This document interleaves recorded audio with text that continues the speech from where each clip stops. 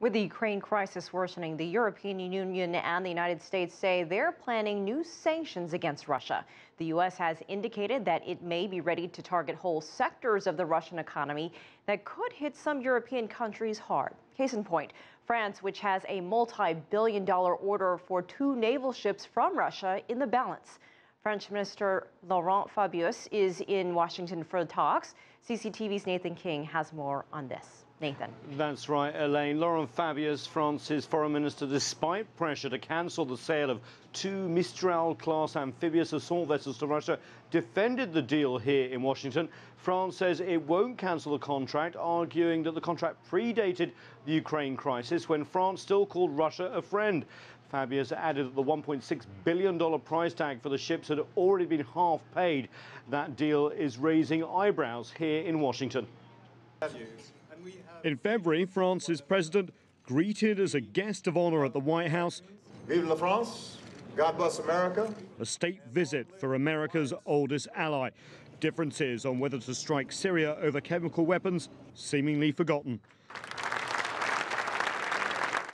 And the red, white, and blue of both nations on display at Tuesday at the State Department as both allies stress common ground on many issues. But construction of these two Mistral class ships are causing controversy. Commissioned back in 2011, the ships can operate as helicopter carriers. One, ironically christened the Sebastopol, off the Black Sea port where the two ships will be based, in the recently reabsorbed Russian province of Crimea. Russian officials have long coveted these ships. The Russian admiral said the 2008 Georgian conflict could have been over in 40 minutes had Moscow had Mistrals.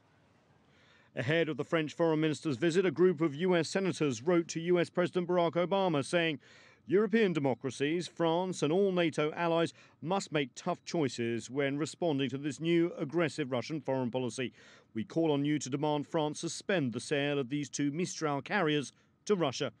Here in Washington, the French foreign minister instead defended the deal. It has been signed in 2011, three years ago. It is implemented. It is paid more than half, and the construction here. And according to the law, today there's no possibility of saying no.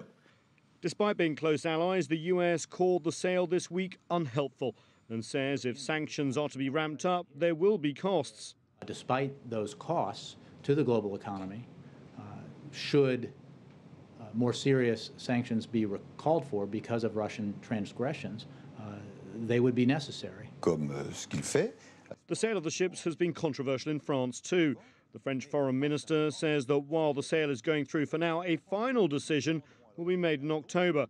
With Europe emerging from recession and important manufacturing jobs at stake in France, cancelling the order at this late stage may cause more pain in Paris than in Moscow.